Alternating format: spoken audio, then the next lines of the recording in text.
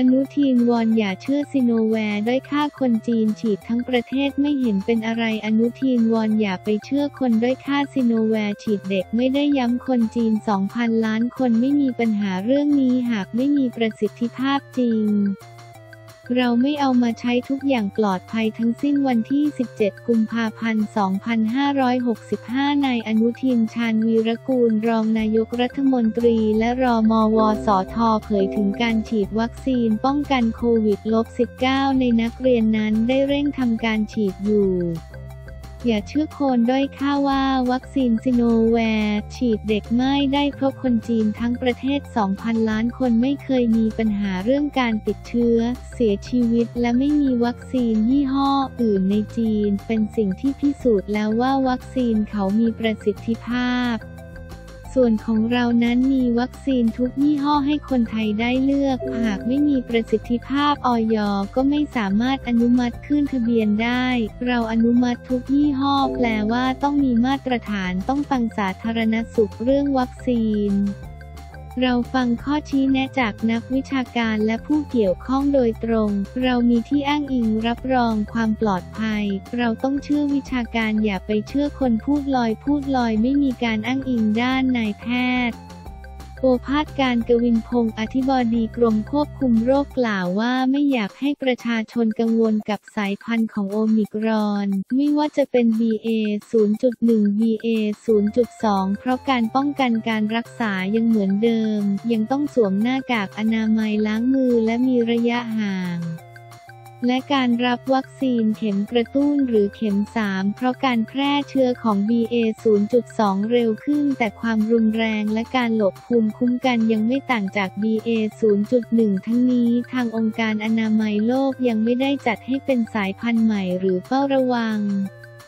ขณะเดียวกันกรมควบคุมโรคกรมวิทยาศาสตร์การแพทย์และกรมการแพทย์ยังติดตามข้อมูลอย่างต่อเนื่อง จึงไม่อยากให้ประชาชนกังวลคาดว่าความวิตกกังวลของประชาชนในขณะนี้เกิดจากข้อมูลที่มากล้น อัตราการตายของไทยต่ำกว่าต้นเดือนที่ผ่านมา จากเดิม 0.22 เหลือ 0.20 และถือว่าน้อยกว่าทั่วโลก โดยอัตราตายของทั่วโลกจากเดิมอยู่ที่ 2.2 ขณะนี้เหลือ 1.4 แต่คนเสียชีวิตส่วนใหญ่ยังเป็นผู้สูงอายุ จึงอยากเชิญชวนให้มารับวัคซีนขณะเดียวกันบ้านคนหนุ่มสาวที่มีผู้สูงอายุอาศัยอยู่ด้วย ก็ขอให้ระวังตนเองให้ดีเพื่อป้องกันคนในบ้านได้รับเชื้อเนื่องจากส่วนใหญ่สาเหตุการติดเชื้อในผู้สูงอายุมาจากการรับเชื้อจากคนในครอบครัว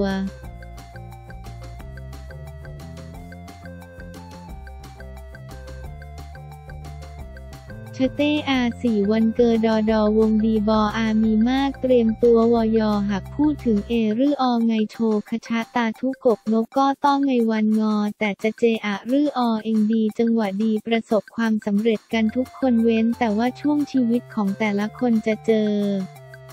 ช่วงชีวิตแบบไหนทุกคนย่อมจะเจอทั้งรืออเองดี และเอรือองอไรอายอกันทุกคนอยู่ที่ว่าทุกคนจะปรับตัวและระมัดเอสวัดโงตัวได้มากไหนสำหรับเปิดสี่วันเกอดอดูเองดีบออามีมากดอวงชัดเอาปีดะทาไงเฮาวอยอ เตรียมตาเวเปนัสอนสอถีใหม่ป้ายแดงได้แก่ คณะกิจวันจันทร์ท่านมีเกณฑ์รับทรัพย์เพศจากเอลวีเป็นหลักแสนปลดหายนี้สินได้เลยดูเองท่านกำลังขึ้นหมั่นทำทานให้บ่อยจะช่วยหนุนค้ำดอวงชาตาให้ทั้งปีมีแต่เอรื ดอเองดีตลอดดวงชะตาต่านเองก็มีเกณฑ์หลุดพ้นจากคนจันไร คุณมีเกณฑ์ได้ลาบก้อนใหญ่จากตัว ลอวีและการลุ้นโชว์ขจากแอปพลิเคชันในมือถือมีโอกาส ได้รับโชว์ขยายเป็นของรางวัลและงีนอสอโดมุนโคเอาหลายแสนโนบาทมีงี ณใจายหายนี้จ่ายสินและเหลือเก็บศพไว้เลยคนเกิดวันเสาร์ดวงชะตาต่านเองก็มีเกณฑ์หลุดพ้นจากคนจันไร คนที่คิดเอาเปรียบคนเหล่านี้จะแพ้พักยะไปเองวางตัวนิ่งไวอย่าปากไวโชว์คลาบกำลังเตรียมพุ่งชน มีเกณฑ์เป็นเศรษฐีใหม่ป้ายแดง มีเกณฑ์ได้ลาบก้อนใหญ่จากตัวลอวี มีเกณฑ์จะได้รางวัลเป็นโบอ่าน หรือรถมูลโคเอาหลายแสนโนบาทหากนำรางวัลที่ได้ไปขายก็จะเอาหนีนะตั้งตัวได้เลยความฝันรุ่งสางวันที่หนึ่ง ที่เกี่ยวกับพระจะให้โชว์คอการเอสี่ยงอดอวงจากสลากให้ซื้อกับหอยิงสาวรุ่งผิวน้ำผึ้งที่ขายไอไกลร้านขายยาจะถูกฉลกกับดัวเองคุณมีเกณฑ์รับทรัพย์เพศจากเอลอวีเป็นไหนลักษณะมีเองดาวายรถป้ายแดงสมใจคนเกอ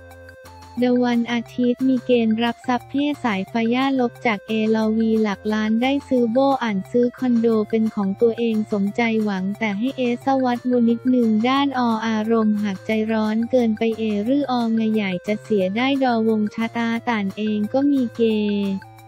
คือหลุดพ้นจากคนจันไรคนที่คิดเอาเปรียบคนเหล่านี้จะแพ้พักไปเอง วางตัวนิ่งไวอย่าปากไวโอชคลาบกำลังเตรียมพุ่งชนคนเกอดวันอังคาอา ดอวงท่านมีเกอึงได้ละหยาบก้อนใหญ่จากตัวลอวีและการร่วมลุ้นโชว์ ขจากกิจกรมอของแบรนด์สินค้าเอาต่างที่ท่านได้ร่วมสนุกมีโอกาสจะได้รางวัลเป็นโบอ่าน หรือรถเรียก้าหลักล้านจะขายหรืออยู่เองใช้เองก็ตามสะดวกและการรอเอสี่ยงอดอวงจากสนอากอให้ซื้อกับหอ ยิงท้วมขาวที่ขายใกล้ร้านสะดวกซื้อช่วงเช้าจะถูกฉลกกับดอวงคุณมาก มีเกณฑ์รับทรัพย์เพจากเอลวีเป็นหลักแสนโนบาทมีหงินัดซื้อของที่หอยอากอได้มานานสมใจหอยอากอแถมยังมีหงิโนก้อนเหลือเก็บในธนาคอาดอวงชัด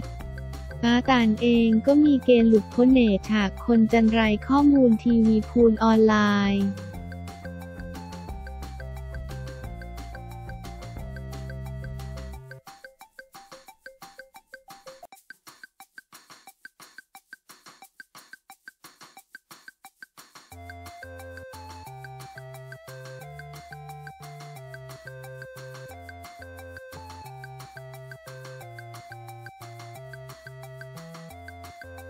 หมออุดมคาดสิ้นเดือนนี้ติดเชื้อแตะ1.8 หมื่นรายวอนผู้ปกครองพาเด็กฉีดวัคซีนหมออุดมคาดสิ้นเดือนนี้ตัวเลขผู้ติดเชื้อ 1.7 ถึง 1.8 หมื่นรายวอนช่วยกันอย่าให้ทะลุ20,000ขอผู้ปกครองอย่ากังวล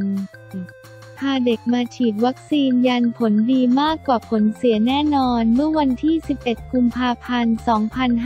2565 ที่ทำเนียบรัฐบาลนายแพทย์อุดมคชินทรที่ปรึกษาศูนย์บริหารสถานการณ์การแพร่ระบาดของโรคติดเชื้อไวรัสโคโรนา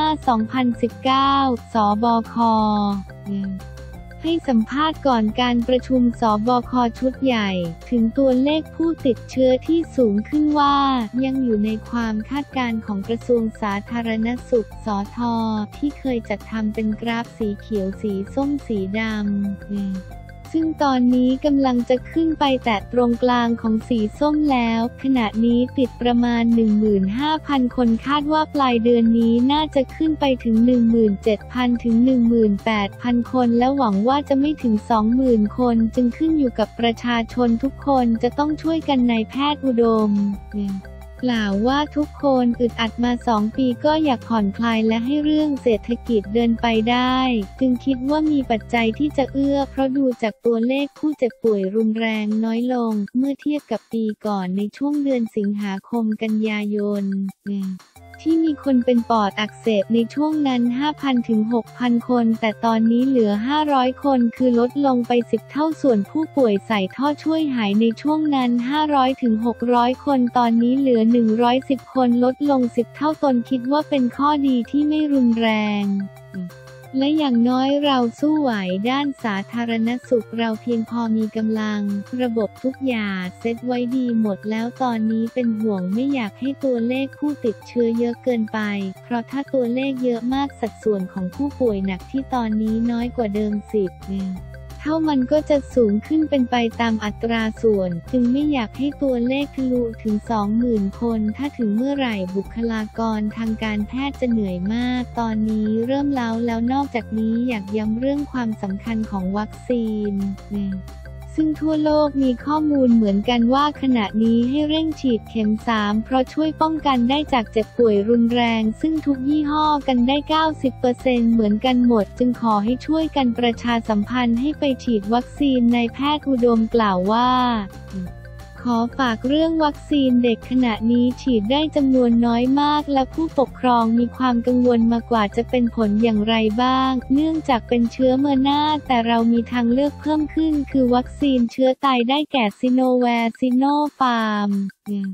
แต่ยังมีคนไปฉีดน้อย เพราะอาจกังวลว่ามีประสิทธิภาพพอหรือไม่ ตนคิดว่าแม้ประสิทธิภาพอาจสู้ไม่ได้ แต่เมื่อไปถึงเข็ม 2 เข็ม 3 แล้วสู้ได้โดยกำลังจะปรับเป็นสูตรไข้สอทอได้ประกาศแล้วว่าฉีดในเด็ก 12 ปีขึ้นไปก่อน แต่เด็กอายุต่ำกว่านั้นยังไม่ไข้และในอนาคตก็คงต้องไข้เพราะต้องการให้ภูมิขึ้นเร็ว เริ่มเข็ม 1 ซิโนแวคเข็ม 2 ไฟเซอร์ ภูมิจะขึ้นเร็วไม่ต้องรอนานนายแพทย์อุดมกล่าวว่า ส่วนที่ผู้ปกครองกังวลเรื่องไฟเซอร์วัคซีนหลักในเด็กถึงเรื่องกล้ามเนื้อหัวใจอักเสบนั้น ขอยืนยันตามที่มีข้อมูลล่าสุดที่เก็บมาจากทั่วโลกคือเกิดขึ้นจริง แต่เกิดน้อย กลุ่มที่เกิดเยอะที่สุดคือเด็กโต 16-18 ปี ในเด็กผู้ชายมากกว่าในเด็กผู้หญิงเกิดประมาณ 70 ต่อ 1 ล้านเด็กผู้หญิง 16-18 ปีเกิด 7 ต่อ 1 ล้านพออายุต่ำลงมาประมาณอายุ 15-17 ปีเกิด4-5ต่อ 1 ล้านขอให้ไปช่วยกันฉีด